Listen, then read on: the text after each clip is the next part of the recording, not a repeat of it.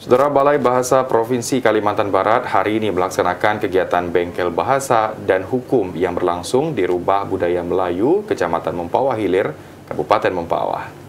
Kegiatan ini diikuti sebanyak 40 peserta yang terdiri dari pendidik, tokoh masyarakat, dan Babimsa yang berada di Kabupaten Mempawah.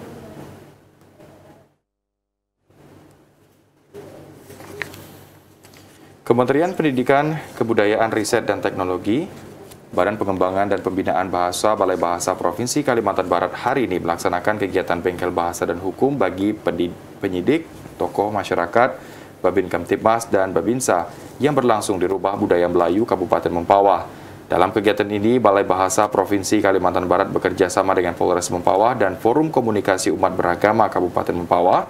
Kepala Balai Bahasa Provinsi Kalimantan Barat Suharyanto mengatakan, Seiring dengan kemudahan teknologi informasi di sekitar, tanpa disadari sering melakukan komunikasi yang dapat memancing secara emosional, baik itu dengan berita atau kiriman yang mengandung unsur hoax.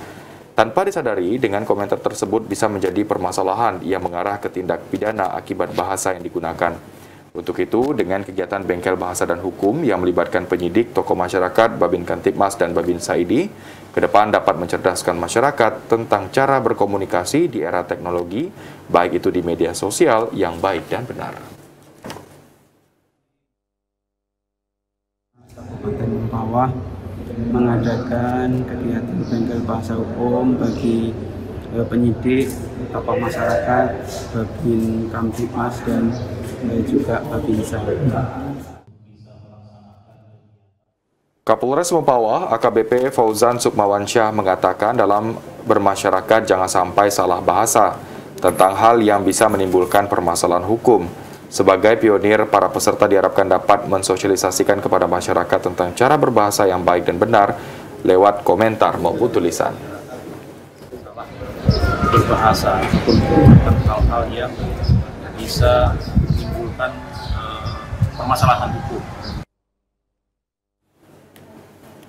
Sementara itu, masing-masing peserta terlihat sangat antusias dalam mengikuti kegiatan bengkel bahasa dan hukum.